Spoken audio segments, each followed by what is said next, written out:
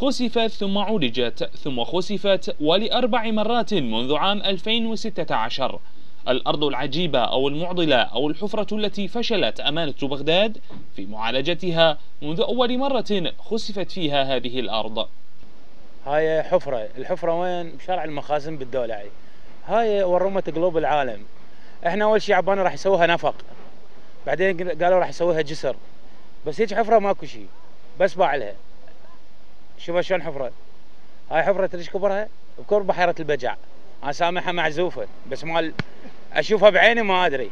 والله هاي معضلة مال هاي الخسفه هاي قاع يعني صار لنا هاي أربع سنوات إحنا على الحطة هاي.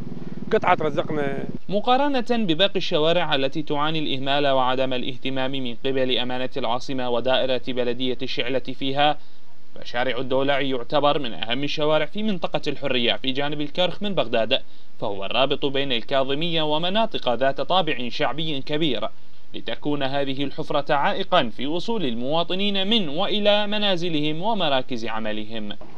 بالنسبة لموضوع هاي الحفرة اللي هنا يعني صار رابع مرة خامس مرة تقريبا تخسف هذا الشارع يسوي عمار وصيانة ومدري شنو وهم يخسف مرة ثانية.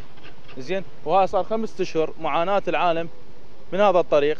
يعني صار فرة هنا بالأفرع وبالحفر هاي وبالنقر. الشوارع هي تعبانة. نفتر فرة كاملة. عود نوصل للساحة عدن. فهاي مو ما أعرف الوضعيه هاي ما شلون يعني اليوم وباكر وعقبة وتاجيلها صار خمس اشهر على الوضعية هاي. والعالم يتعاني من عندها يعني صعوبة، هاي منطقة الثالثة والدولعي والجوادين والخطيب وكلها عليها. أربعة أشهر لم تكن كافية لطمر أرض خسفت في بغداد. بينما الصين أنشأت مستشفى كاملة في غضون عشرة أيام ليتضح أسلوب العمل المتلكئ للكادر الهندسي المشرف عليها.